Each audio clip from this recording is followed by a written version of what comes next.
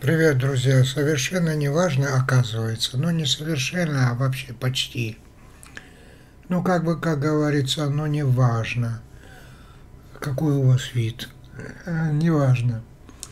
Важно, как подсказала участник нашей школы Надежда наша Байлова, глаза, чтобы улыбались. Вот когда вы делаете улыбку не только вот здесь, вот э, ну, понятно, да? А в глазах.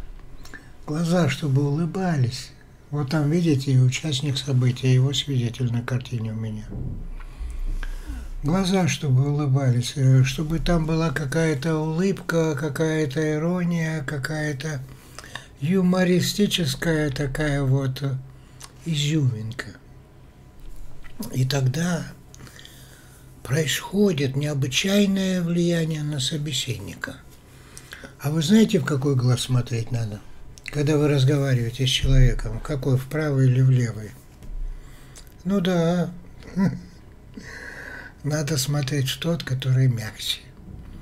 А вы невольно так и делаете, потому что когда вы смотрите в жесткий глаз, вот этот, вот, например, видите, жесткий какой, он так связан там с нейросетями мозга, что он напряженный. Этим глазом как бы я вижу, а этот как бы его сопровождает. Ну а теперь послушайте. Вот у нас был вебинар, описание там, не описание, а ссылка, кто еще там не был, посмотрите внизу. А, так вот, а, там коммент прикрепленный, кто захочет, приобретет. И там было маски эмоций. И вот поскольку на вебинаре я отвечал на вопросы, которые задают, ну, по программе, которая была там представлена, а вот по маскам эмоций никто вопрос не задал, и поэтому весь вебинар прошел так хорошо, так успешно, все такие довольные, там много нового, полезного. А по маскам так и не сказали, потому что не спросили. А надо спрашивать. И на бесплатных ликбезах надо спрашивать, и на вебинарах надо спрашивать, чтобы я мог дать развернутый ответ. Ну, не спросили, и поэтому я и это время не потратил на это. А сейчас скажу. Что такое маски эмоций? Я был как-то в группе у Бояршинова. Это очень давно было, но много-много лет назад – он нас всех положил на пол, мы лежали, и он сказал всем расслабиться. Мы расслабились, и он говорит, вообразите, что у вас, например, удивление, или вообразите, например, недовольство, или вообразите себе, что у вас состояние грусти, или такое состояние изумления, что вы очарованы. Ну, короче говоря, он предлагал несколько таких образов, э, которые надо было как бы примерять к себе. Это я уже говорю, примерка масок. А он просто предлагал в положении нас лежа вот эту примерку этих э, эмоций, эмоций, этих состояний таких. И потом вдруг наступало такое роскошное расслабление. Я тоже помню это, и все, которые были там в группе. Хорошо это заметили и почувствовали. Все были такие довольны.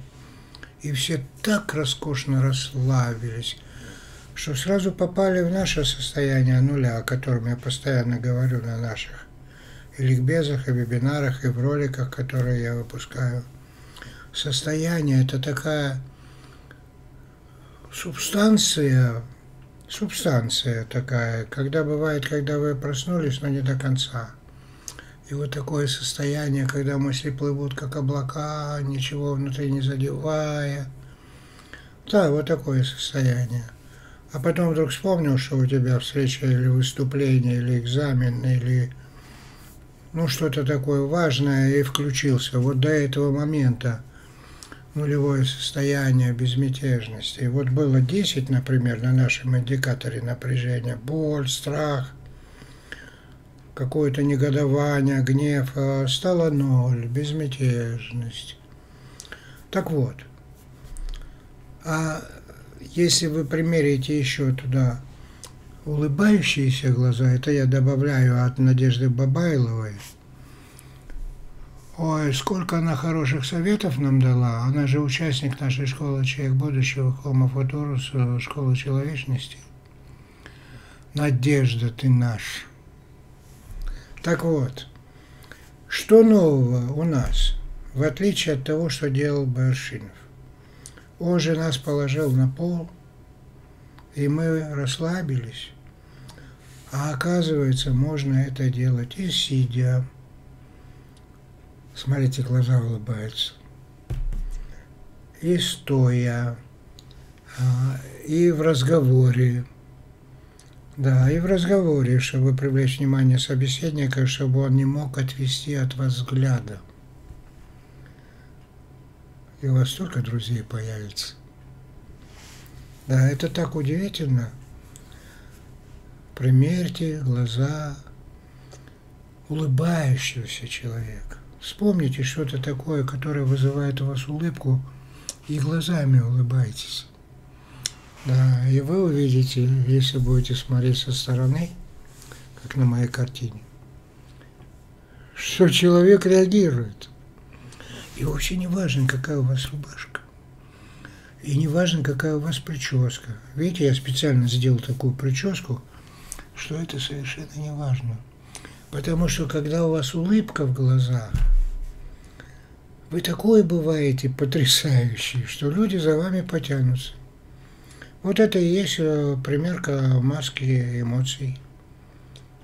Поделайте это, а потом в следующем ролике я вам расскажу, как выходить из голограммы, в которой вы находитесь, суетного состояния, доминанты стресса, страха, комплексов, стереотипов мышления и шаблонов – и подражание авторитетам, и подверженности манипуляциям, выходить оттуда в доминанту потока, через эту безмятежность, в доминанту потока, когда вы можете так свободно себя вести, как я сейчас вам это все рассказываю, нисколько я не зажат, не смущаюсь, потому что я вам говорю полезное. Еще раз посмотрите на мой глаз, на этот – и на этот. Этот мягче, правда? И туда и легче вам смотреть, правда? Поэтому, когда вы смотрите на человека, вы невольно смотрите в тот глаз, на который смотреть легче, где нет сопротивления. Поэтому и сидя, и стоя, и лежа, и даже во время ходьбы, когда ты с кем-то встречаешься, например, глазами тоже улыбайтесь. Ну да, был бы Станиславский, он сказал бы мне, верю, да, верю, верю, молодец Станиславский, такой давал, такой давал, просто люди не знали, что это только для актеров, а это для всех. И Байершинову, конечно, была бы возможность, мы бы сейчас провели встречу, да, но, к сожалению, к сожалению, ну что делать? Память-то остается, когда человек дает полезное. До встречи.